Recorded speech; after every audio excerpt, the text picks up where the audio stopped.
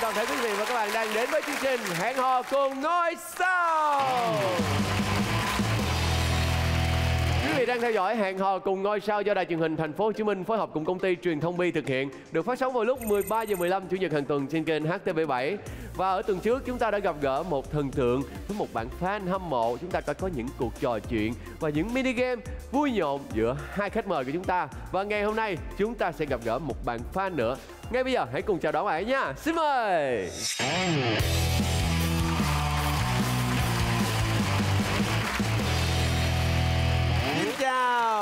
Em hãy giới thiệu tên của mình đến tất cả quý vị khán giả đang theo dõi chương trình Hẹn hò cùng ngôi sao ngày hôm nay đi nào Em xin chào tất cả mọi người. Em ờ, tên là Thiên Trang, năm nay em 27 tuổi. À, em hiện tại sống ở Hồ Chí Minh. Trong lòng của bạn yêu mến và hâm mộ thần tượng nào bạn có thể kể tên ra được không? Em hả? Thần tượng um, anh Anh Tú. Anh Tú ngày hôm nay là khách mời của chúng ta đó Trước khi anh Tú xuất hiện ở đây á Thì bạn có thể chia sẻ một tí là à, Lý do gì và từ thời điểm nào mà bạn lại yêu thích ờ, Nguyễn Anh Tú Từ cái mà xoài lắc á, em thích ảnh theo dõi từ đó. Ngày hôm nay thì không biết là Tú đến đây thì bạn nghĩ là Tú sẽ ờ, diện một bộ trang phục như thế nào Và đến đây với một phong cách ờ, ra sao Dự đoán xem Ảnh thì ảnh hay thích cái gam màu là màu be và nu. Những gam màu nhẹ nhàng. Em nghĩ anh sẽ xuất hiện với gam màu đó.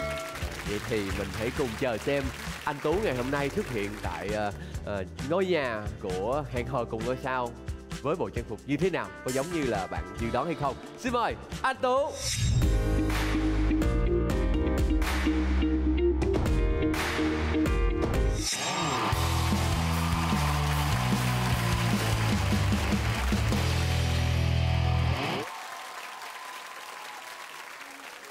Bây giờ thì à, sẽ dành thời gian để cho Tú gửi lời chào đến tất cả quý vị khán giả đang theo dõi chương trình Hẹn hò cùng ngôi sao ngày hôm nay. Xin mời Tú. Nguyễn Anh Tú xin được à, chào quý vị khán giả à, đang xem đài và ngày hôm nay hy vọng là cái năng lượng của Tú và cái năng lượng của tất cả mọi người ở đây sẽ đem lại cho quý vị khán giả những cuộc trò chuyện thú vị Đấy, giống như Tú vừa mới nói là chúng ta sẽ có những cuộc trò chuyện và bên cạnh đó thì cũng sẽ có những mini game. Trước hết chúng ta sẽ cùng ngồi xuống với nhau để cho nó thoải mái hơn là đứng ở đây. Xin mời.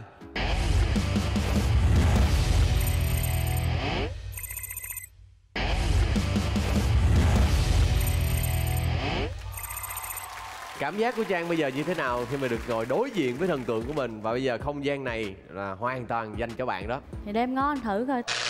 Tại vì ờ, không nghĩ là được gặp thần tượng đây.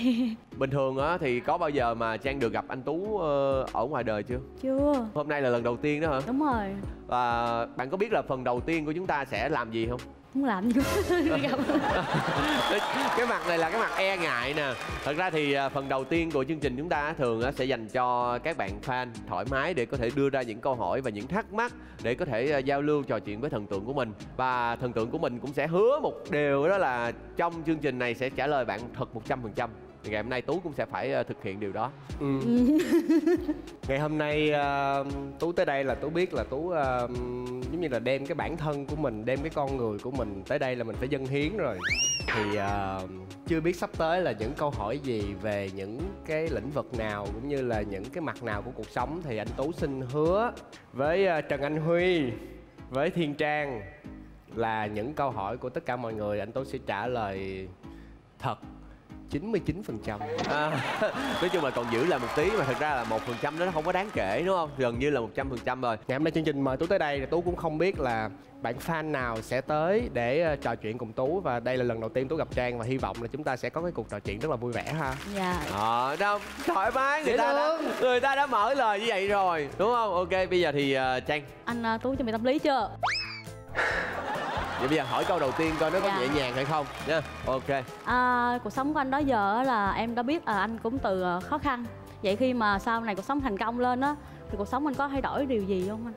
À Có hỏi về là- cuộc sống của tú. À, cũng nhẹ nhàng cái này Dễ thực tế thương. thực tế và từ khi mà Tú thành công một một chút, cuộc sống của Tú, gia đình của Tú nó được à, nâng cấp hơn, gia đình thoải mái hơn và có những cái cuộc à, gặp gỡ cũng như là những cái bữa tiệc nó sinh động hơn, giúp gia đình gắn kết với nhau nhiều hơn. Đó là cái điều mà Tú rất là vui và mình có thể có một phần kinh tế nào đó ổn định để mình có thể phụ giúp gia đình của mình nhiều hơn nữa thì sau những cái vấn đề tới thời điểm này thì anh tú thấy rất là biết ơn uh, những cái hành trình mà mình đến với nghệ thuật và nghệ thuật đã đem lại cho mình.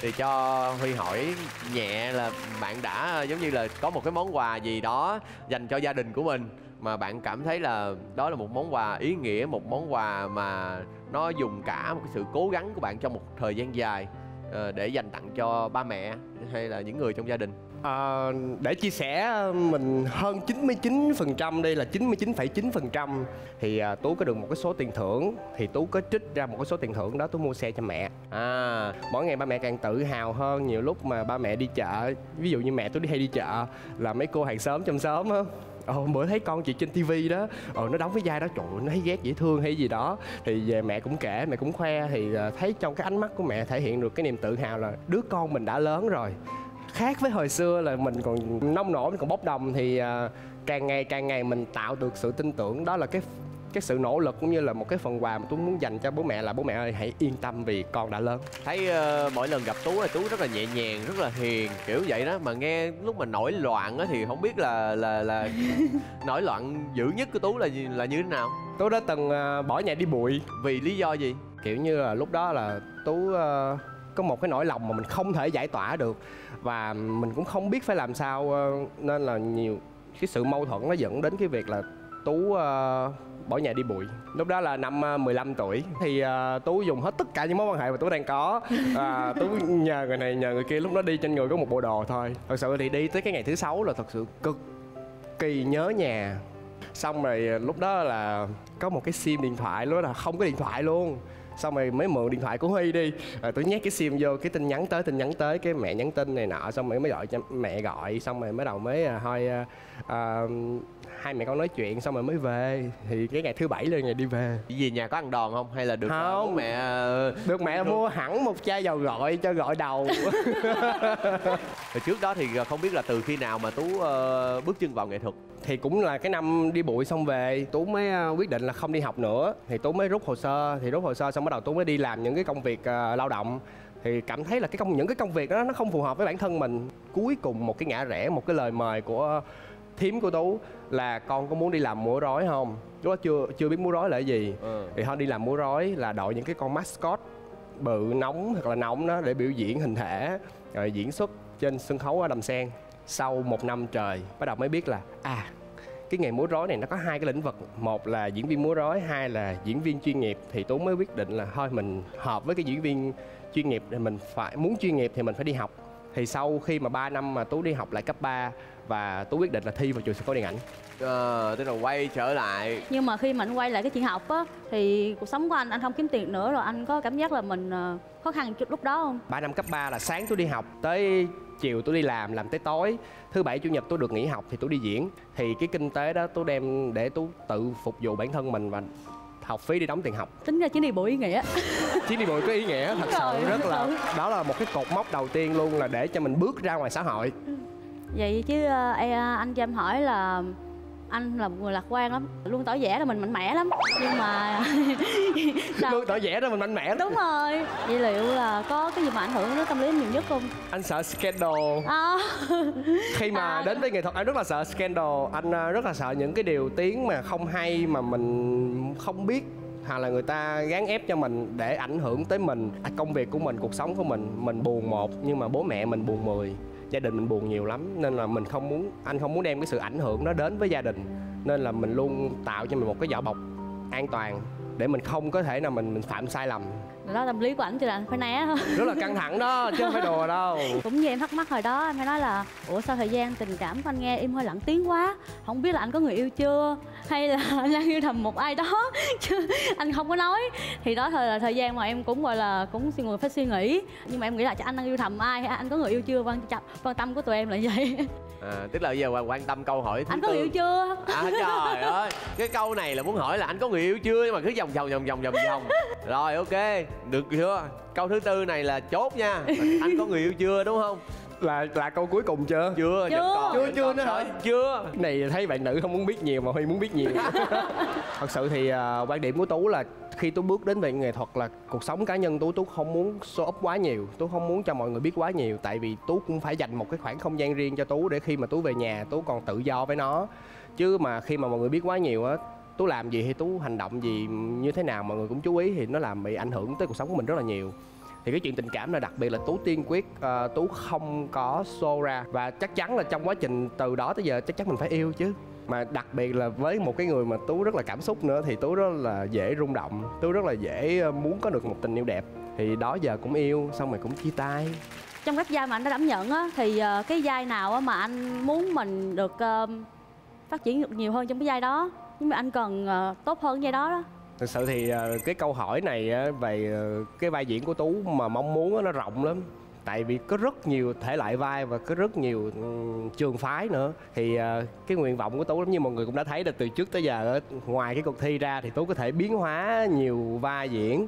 Từ vai đàn ông, vai trẻ con, rồi vai ờ, bị ờ, thương tật, rồi và vai đẹp trai. Thì còn ngoài đó, sau đó tú đi đóng phim, toàn tú đóng những cái vai khổ, vai nghèo, vai chân chất thôi thì đó là cái ngoại hình và tất cả cái thế mạnh của tú đã có. Cái mong ước tiếp theo là được đẹp trai đóng những cái vai chỉnh chu những cái vai mà thể hiện tính cách một trải- cái người đàn ông mà đã trải đời rồi thì nó có độ đầm độ sâu sắc rồi độ tinh tế rồi có những cái ờ, đau khổ dồn nén bên trong. Đó là những cái điều mà tú muốn cho cái nhân vật tiếp theo Cái của tú. đó dạ. Vâng. Không biết là trong thời gian sắp tới á, thì ờ, tú có những cái dự định gì chưa tú muốn được làm một bộ phim cho tú. Bây giờ là mình phải đi kiếm tiền nè mình phải đi ờ, học hỏi nhiều hơn xong mình ấp ủ kịch bản rồi bắt đầu mình đầu tư cho nó để mình ra được một cái đứa con tinh thần đúng với cái ý nguyện của mình và phù hợp với quý vị khán giả nữa. Đó là nguyện vọng tương lai. Rồi, bây giờ ờ, mình nói một chút về dự định ờ, đó của tú đi. À, một vai diễn của tú muốn là tú sẽ đóng được hai nhân vật à, một cái nhân vật chân chất mà mình đã có à, một cái vai ờ, gentleman mà mình muốn hướng tới thì hai cái vai đó sẽ là hai tính cách khác nhau. Và nó có một cái điểm chung là à, nội tâm rất là sâu sắc và chắc chắn phải hài rồi. Không hài thì đó là không phải tú rồi. Còn Ok. như thế nào thì huy hãy đợi nhé rồi ờ, vừa rồi thì chúng ta đã có một phần trò chuyện nho nhỏ cùng ờ, giữa ờ, anh tú cũng như là bạn thiên trang. Thì không biết là thiên trang ờ, với những câu hỏi vừa rồi bạn cảm thấy như thế nào trong cái phần đầu tiên của hẹn hò cùng ngôi sao ngày hôm nay? Nói chung là khi mà trò chuyện với anh tú xong thì em cảm giác như là ảnh luôn làm cho mọi người cảm giác lạc quan vui vẻ lắm anh. Như là một người gọi là nhiệt tình thân thiện còn anh tú thì như thế nào khi mà bạn được gặp một người ờ, yêu mến mình để ngồi hôm nay trực diện? Tôi thấy là giống như là mình ờ, mình đang đi phỏng vấn gì đó đang đi phỏng vấn hả mình đang đi phỏng vấn có khác biệt một tí là những cái câu hỏi chia sẻ nó gần gũi giống như kiểu anh em trong nhà với nhau bạn bè mình chơi với nhau mình thân thiết mình chia sẻ với nhau thì có máy quay quay thôi chứ không có gì Rồi, đến đây thì ờ, mình cũng sẽ kết thúc phần đầu tiên của hẹn hò cùng ngôi sao. Chúng ta sẽ cùng đến với phần thứ hai. Nhưng trước hết chúng ta hãy cùng nghỉ dây lao và chúng tôi sẽ quay trở lại đường chuyển kênh nha.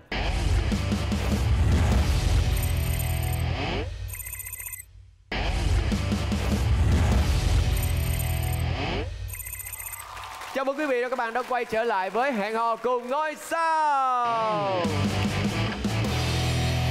trước mặt của Huy là một bàn cờ caro, không biết là bình thường ờ, ngày xưa đi học á, cái trò chơi này là mọi người hay chơi lắm, không biết là tú có hay chơi caro thật sự là cái thời cấp 2 là cái thời chơi caro nhiều nhất. Sau cuốn tập nào bộ môn nào cũng sau đó là ba bốn tờ là phải caro caro caro caro tập mình và tập bạn luôn. Chơi có giỏi không? Hồi xưa chơi cũng được á còn bây giờ thì lâu lắm rồi bỏ lâu lắm luôn rồi. Tức là khi mà mình chơi caro á mình cứ đánh đại hay là mình có chiến thuật gì không? Mình phải có chiến thuật chứ. Có chiến thuật. Mình phải có chiến thuật một là mình ơi mình nói luôn hả? Nói luôn. Rồi ok nói luôn. Một là mình quyết tâm mình thắng mình đi thẳng một đường mình tìm đường mình thắng. À. Hai là mình dắt cái bạn người chơi đối diện của mình đối thủ của mình á đi vòng vòng vòng vòng vòng vòng, vòng rồi mình tìm cái hở mình thắng. À thì nói chung là chơi caro chỉ có hai đường thôi. À ủa vậy hả? Ủa vậy hả? Chơi caro chỉ có hai cách. Tưởng tưởng khám phá được hai cách đó là hay rồi. Tưởng đâu khám phá được cái gì. Rồi còn à, trang à, ngày xưa trang đi học trang có hay chơi cờ caro này không? Dạ có. Tính toán hay là mình cứ đánh đại? Hồi đó thì trên đại anh thua giết cái đâm ra rút kinh nghiệm Ngày hôm nay chúng ta sẽ cùng chơi cờ caro tại chương trình hẹn hò cùng ngôi sao. Nhưng không đơn giản là chúng ta chỉ đặt những con cờ xuống, mà ở hai phía chúng ta sẽ có hai quân cờ trắng và đen. Khi người chơi nào ăn hết những miếng bánh bên trong cái ly nhanh nhất thì họ sẽ giành quyền đi trước. Và tiếp theo, người còn lại sẽ phải ăn hết miếng bánh trong ly của mình thì mới được đánh một quân cờ. Và như thế, cho đến khi nào chúng ta đạt được 5 quân cờ trên một đường thẳng. Người đó sẽ giành chiến thắng. Hai người chơi sau khi huy đếm 3, 2, 1 ai ăn hết bánh đầu tiên trong cái ly đầu tiên sẽ giành quyền ưu tiên đi trước. Thắng sẽ được quà còn thua sẽ phải chấp nhận một hình phạt một yêu cầu mà đối thủ đưa ra. Nào và bây giờ chúng ta hãy vào vị trí. Ba hai một bắt đầu! Như mọi người cũng đã biết đây là một cái bánh ờ, hồi xưa tuổi thơ của mình. Đây là bánh gì ạ Bánh lỗ cai à bánh lỗ tai à bánh lỗ tai à con cờ đầu tiên à xin mời thiên trang à anh chèn hết anh. Anh không tiếp tục à trong lúc họ đánh thì mình hãy nhanh tay để À, ăn mình hết ăn bánh hả? đúng rồi. Ăn, ăn không bạn ơi. Không à mình không ăn à trong lúc à, đối thủ của mình đang suy nghĩ quân cờ thì mình hãy ăn. Nhìn bỏ bánh nhiều quá. Bỏ bánh nhiều luôn. À. thôi đừng có suy nghĩ lâu quá mới có hai quân cờ là không cần phải suy nghĩ lâu À. vậy đâu. Đấy phải ăn nhanh nhanh đúng rồi trong lúc họ đánh thì mình sẽ ăn. Đây. Thôi. Chưa gì đã Dạ. chặn rồi này là quyết định là chơi theo à, chiến thuật là chặn đầu ngay từ những à, phút đầu tiên. Cái gì mà ba cái dữ vậy? Đây để mình giúp cho bạn một cái. Ngon ha ngon ha. Rất giòn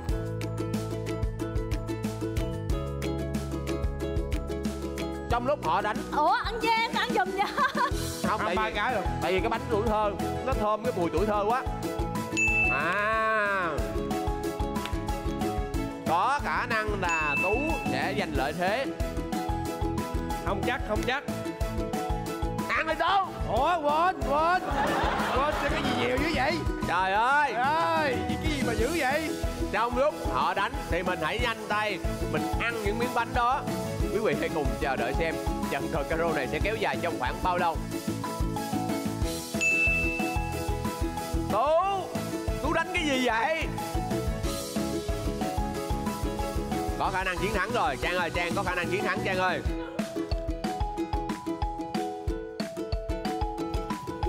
Trời ơi cái gì mà nhiều quá vậy? Mình nghĩ là ăn đi trước mà. khả năng cao.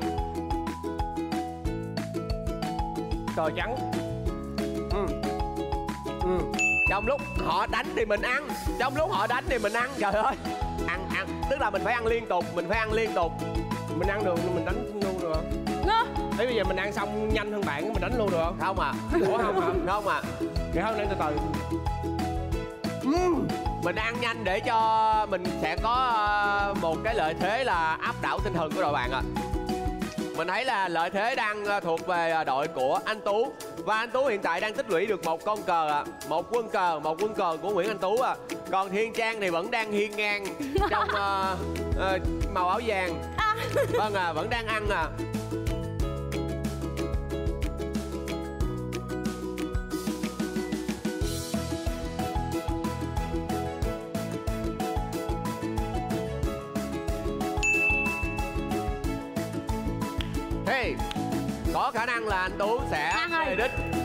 đầu tiên và Thiên Trang bắt buộc sẽ phải ờ, đưa ra một quyết định ngay lúc này. Rồi Chết rồi nổn luôn. Đó là Qua đây qua đây qua đây. Chỉ cho chặn lên nè Đúng rồi. Còn hai nữa Ừ Vậy thôi mình chặn à. Chẳng có lợi thế của ta. Tú đang ờ, quyết định là chặn. Bạn có thể vừa nhai vừa đánh à. Rút ngắn thời gian vừa nhai vừa đánh à nhanh lên à Đường nào giờ Đường này nữa hả? Không được Đường này đấy rồi không?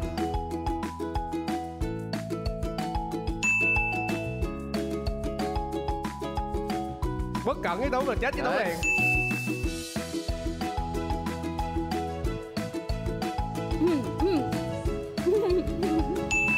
khả năng chiến thắng của Tú đang ờ, tăng dần vẫn là quân cờ đó.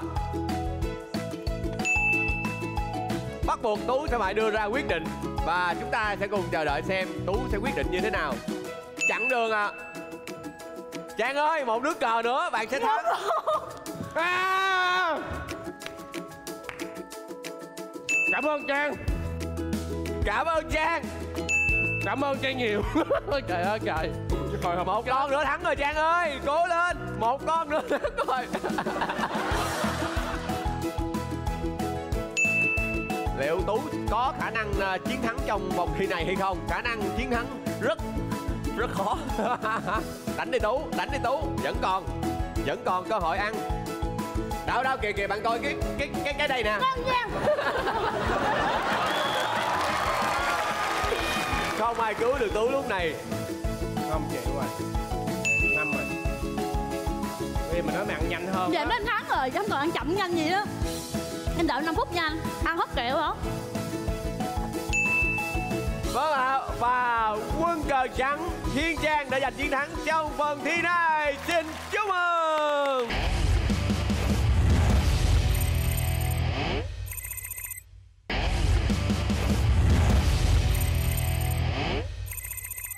Vừa rồi chúng ta đã trải qua một ván cờ caro giữa Nguyễn Anh Tú và bạn Thiên Trang Thì không biết là cảm xúc của Trang ngay bây giờ như thế nào? Chắc tại anh Tú ờ, anh nhường em á đâu anh thua thiệt cái em anh thua Thua thiệt hả?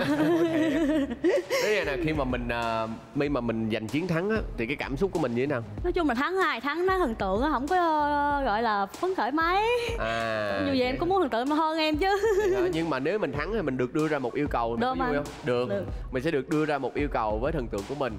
À còn Tú thì sao? Hồi nãy bạn tính toán đồ dữ lắm mà. Bạn có chiến thuật gì lắm mà sao bây giờ? Bạn lại à, để à, thua một cái nước cờ dễ dàng như vậy. thật sự thì mình nói chiến thuật cho vui vậy thôi chứ mình cũng đâu chơi chiến thuật gì đâu Ok. Vậy bây giờ chúng ta sẽ có một cơ hội để đưa ra một yêu cầu cho Nguyễn Anh Tú thì bây giờ bạn sẽ đưa ra yêu cầu như thế nào? Hồi đó em nhớ là em ấn tượng ảnh có một cái vai là xoài lắc Sòi lắc. Mà anh làm cái kiểu âm thanh Anh làm thử anh nhớ không? tức là mình yêu cầu à, Nguyễn Anh Tú sẽ Dạ. diễn lại cái cái vai diễn đó. À. Bây giờ chúng ta sẽ có cơ hội theo dõi lại à, một trích đoạn nho nhỏ của Nguyễn Anh Tú. Rảnh rồi. ba hai một action! Để biến hóa cái đó Ủa chị chị bán cho em chai sexy. Ủa anh Bảy anh Bảy bán cho em cái giò. Cháu Hoàng Nguyên Nguyên. Mua giùm tờ giấy số đi anh Nguyên. Ủa sao không vô vậy chứ vậy? Bán cho em cái kỳ chứ. Cái kỳ kỳ của anh Nguyên. Ủa vậy hết chưa? Hết anh Nguyên. Ok nói chung là một cái ờ, yêu cầu nho nhỏ thôi mà cũng mang lại tiếng cười cho tất cả mọi người và cũng tái hiện là hình ảnh ờ, bóng trụ rất là dễ thương của ờ, Nguyễn Anh Tú. À, như vậy là chúng ta đã vừa theo dõi một thử thách mà Thiên Trang dành cho anh Tú và bây giờ chúng ta sẽ có một phần quà. Đây một voucher ăn uống tại thương hiệu Tasty Kitchen sẽ nhờ Nguyễn Anh Tú ờ, sẽ trao phần quà này cho bạn Thiên Trang một người hâm mộ mình. Ngày hôm nay đã đến đây để à, trò chuyện và giao lưu với mình. Ngày hôm nay xin mời Tú.